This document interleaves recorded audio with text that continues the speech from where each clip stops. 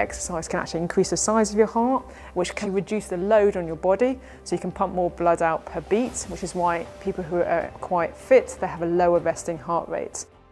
People who are suffering from high blood pressure, it can help lower blood pressure. If you've been eating too much fatty foods and you're starting to get high cholesterol, exercise can actually reduce that cholesterol.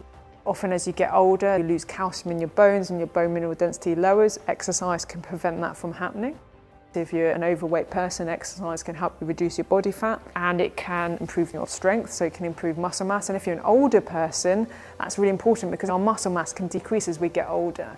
So actually, if we can maintain some of that muscle mass, it can help prevent older people from falls, it can help improve their balance, it can help with a lot of things and improve their daily life. When I was in my early 40s, I didn't exercise, I ate all the wrong foods, I did everything that you're not supposed to do. And then I found swimming.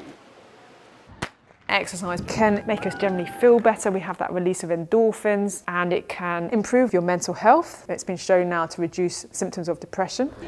It made me much more confident. It got me from point of feeling extremely low and extremely weak to the point that actually I'm, I'm ready for challenges. Yeah.